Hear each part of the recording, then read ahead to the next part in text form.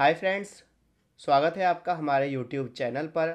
आज की इस वीडियो में हम आपको बताने वाले हैं, अगर आपके घर में भी जियो का एयर फाइबर लगा है तो आप उसका पासवर्ड कैसे बदल सकते हो? मेरे घर में अभी जियो का एयर फाइबर लगा हुआ है, देखिए।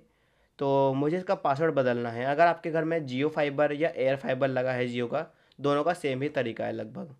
अब अपना पासवर्ड चेंज करने के लिए आपको सबसे पहले अपने फ़ोन में माई जियो एप्लीकेशन इंस्टॉल करना है। वहाँ से आप अपने एयर फाइबर को पूरी तरीके से कंट्रोल कर सकते हो। तो अपने फ़ोन में माई जियो एप्लीकेशन को ओपन कर लीजिएगा। तो यहाँ पे मैं चेक करता हूँ माई तो मैंने माई जियो को ओपन कर लिया है। ओपन करने के बाद देखिए, अगर आपने इसमें लॉगिन नहीं किया है या आपका जो आईडी नहीं बना है तो पहले आईडी बना लीजिएगा उसी नंबर से, जिस नंबर से आपका एयर फाइबर लगा है। आपको यहाँ मिलेगा फाइबर एंड एयर फाइबर इस पर टच करो तो आप इसके सेटिंग में पहुँच जाओगे। वरना आपको मिलेगा यहाँ पे माई डिवाइस तो आपको मिलेगा यहाँ पे माई डिवाइस इस पर टच करोगे तो आपको माई डिवाइस सेटिंग मिल जाएगी।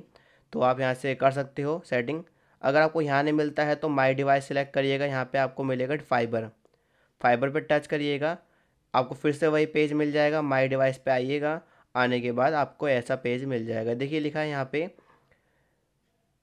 एयर फाइबर आपका यहाँ पे नाम चेंज कर सकते हो, आप पासवर्ड चेंज कर सकते हो। तो एडिट पासवर्ड पे आइएगा और यहाँ पे आप नया पासवर्ड डाल दीजिए।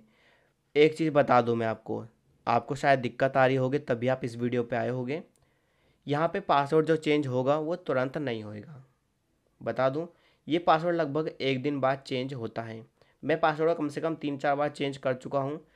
अगर आप अपना पासवर्ड यहाँ पर कोई नया डालते हो, जो भी नया पासवर्ड डालोगे, आठ डिजिट का तो वो अगले दिन अप्लाई होगा, यानी कि वो अगले दिन से काम करेगा। आज आपका जो पासवर्ड है, वो आज वही रहेगा। अगले दिन से चेंज हो जाएगा।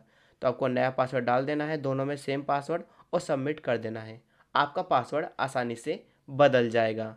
वीडियो पसंद आई है, वीडियो को लाइक करें, चैनल को सब्सक्राइब करें। मिलते हैं किसी नई वीडियो में।